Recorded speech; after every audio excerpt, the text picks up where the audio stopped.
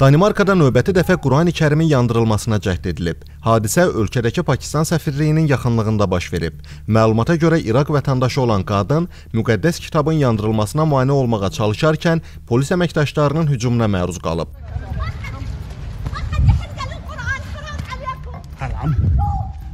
Kadrlardan da göründüyü kimi, Danimarkalı ifrat sağçı zirehli jilet geyinərək Quranı yandırmağa hazırlaşır.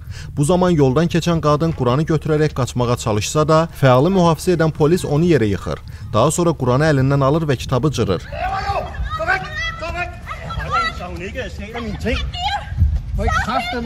Qeyd edək ki, sözgedən hadisə sosial şəbəkə istifadəçiləri tərəfindən kəskin tənqid olunub.